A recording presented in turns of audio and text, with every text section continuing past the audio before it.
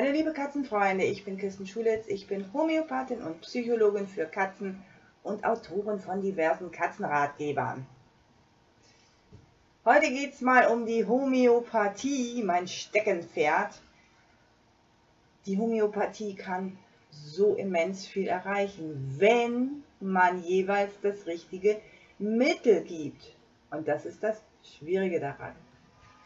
Heute etwas Pauschales, Einfaches, darum kann ich das auch so rausgeben. Wenn deine Katze eine Verletzung hat, egal ob klein oder groß, Ausnahme so ein kleiner Pupskratzer, ja, das kriegt der Körper alleine hin. Aber wenn du merkst, oh, die braucht so ein bisschen Anschubs, gib ihr sofort das homöopathische Mittel Arnica. A-R-N-I-C-A. Arnica. Sofort. Am besten in Globuli die kleinen Kügelchen, so 4 bis 5 direkt sanft seitlich hier reinstreichen.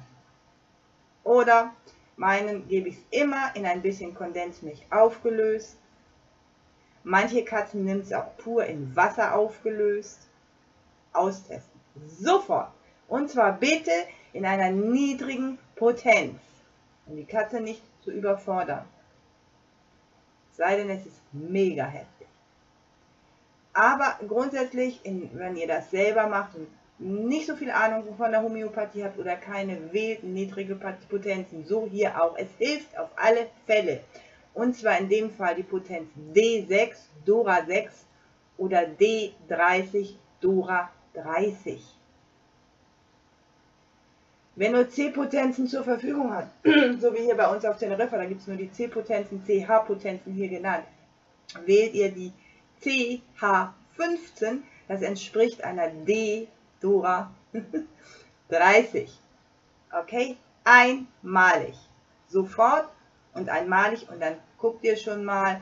In der Regel unterstützt das super den Heilungsprozess. Also nicht wiederholen, erstmal abwarten. Und wenn das was ganz Heftiges ist, ist ja klar, dann bitte ab zum Tierarzt. Ist logisch je nachdem von bis. Aber ganz pauschale Sache, jede Verletzung, egal wie, erstmal Anika.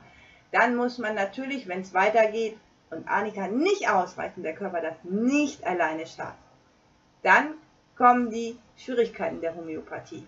Es bleibt symptomatisch, weil es geht ja direkt auf eine akute Verletzung hin. Aber dann muss man eben gucken, ist es doch eher eine Entzündung? Kommt Alter raus? Ist es geschwollen? Ist es ein Biss? Ist es tief und was Spitzes kam rein? Bei all den verschiedenen Sachen, die ich gerade aufgezählt habe, wäre jeweils ein anderes Mittel angezeigt. Da muss man schon ein bisschen versierter sein in der Homöopathie. Aber ganz pauschal bei Verletzung, Verletzung erstmal Arnika geben. Arnika bitte niemals vor einer Operation sowie Kastration geben. Niemals. Dies macht die Runde seit Jahrzehnten im Internet oder sonst wo. Das ist fatal falsch. Denn Anika macht das Blut flüssiger und das ist bei Operationen fatal. Also niemals vor der OP geben, sondern danach, wo wir beim Thema Operationen sind. Wenn es wirklich eine Operation war, könnt ihr danach einmal Anika geben, gleiche Potenz wie eben erwähnt, zum Beispiel nach der Kastration. Wenn ihr aber merkt, die Katze verpackt das alles super, braucht ihr gar nichts machen.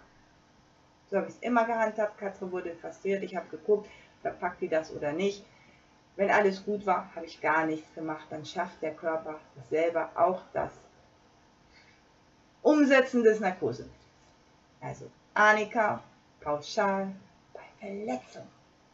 Wer Lust hat auf mehr Homöopathie, dem lege ich mein Buch Symptomatische Homöopathie bei Katzen an Herz. Das ist genau diese Geschichten, wo ihr eure Katze selber unterstützen könnt bei den unterschiedlichsten Wehwehchen.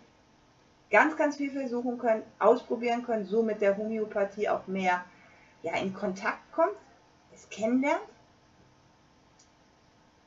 Weil man kann so viel, so viel selber machen.